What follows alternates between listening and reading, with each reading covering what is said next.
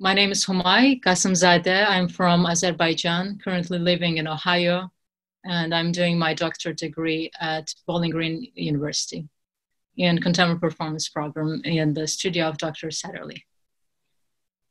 And how I got to music? Um, well, I started when I was six years old. I started taking piano lessons. And at that time, I remember it very brightly that I was very interested in sound. So I would go to the piano. I remember being as a kid, going to piano, press the key, and just listen until the sound disappeared. I really enjoyed that. It's really weird, you know. No, no, it's but, not weird. Yeah. You were meant to be a musician because of that. yeah, I was interested in how the sound gradually changed through the time. You know, I was very much interested. And then I asked my dad if he could switch my schools because there was a very high level music school, specialized music school at age of 11. So I switched my schools. And then I did my undergrad at Baku Music Academy and later I moved to Norway, did my master's there.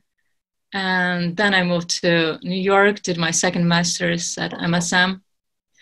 Yes, and now I'm in Ohio. So the school has been a very big part of my life, and I can't wait. I mean, I'm looking forward to be done, but I'm very grateful for all yeah. the education I got, of course. That's wonderful. what was it like to um, go to Norway and then because you, you said you went to New York City after yes. after after yeah. what was it like to be between those it, two places? It was a cultural shock, I think, because Norway is so like very quiet. Uh, and I mean, I'm people like tell me that I'm a very quiet person. Like my personality is quiet. It matches with the. I I don't know. I cannot really.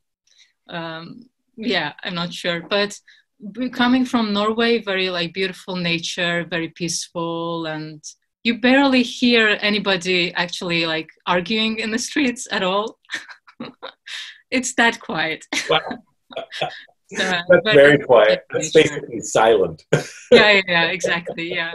And coming to New York, very loud city and very live city. I, I really, I always admire the contrast you mm. know so for me i really appreciate like coming from extreme quiet to extreme loud it was a mm. very interesting experience for me it's also interesting that the way you describe norway and the way you describe new york a little connects a little bit about back to your original experience with the piano just to listen to a sound yes and listening yeah. to sound wow mm-hmm. it's really powerful um, type of um, tool of observation that, you have. Um, could, so could you talk a little bit about um, how music fits into your life? Um, what is important to you in, in music? Mm-hmm. Uh, well, I can tell you that music has always been essential part in my life, and also I grew growing up in a family where my dad plays tar, is a national instrument. So there is a national music called traditional music called mugham, so I grew up listening all this folk music, and my brother is a composer too. I got influenced by him as well. And he, I remember he had lots of old tapes of jazz. He was very interested in jazz by that time. So I got listened to John Coltrane, Dizzy Gillespie, Bill Evans, all the jazz musicians. So like different cultures has always been mixed, you know, in one family. And I grew up embracing it all uh-huh. and it helped me to be open you know to be open to culture to appreciate different differences so that's what yeah led me to explore new music too as well.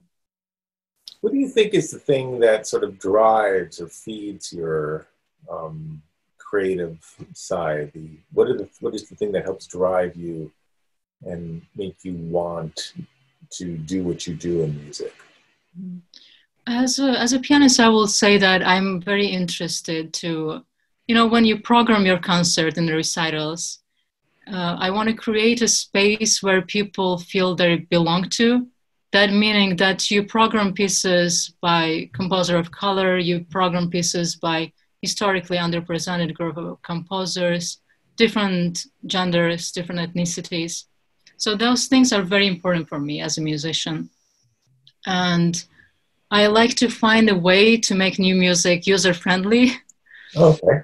So find ways to rethink idealized rituals of piano performance recitals.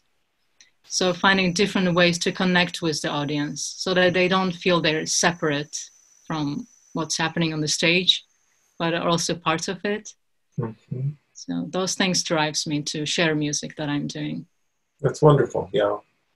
Um, could you talk a little bit about something maybe outside of your life as a musician that um, may or may not directly relate to your life as a musician, but something that really is important to you outside of music?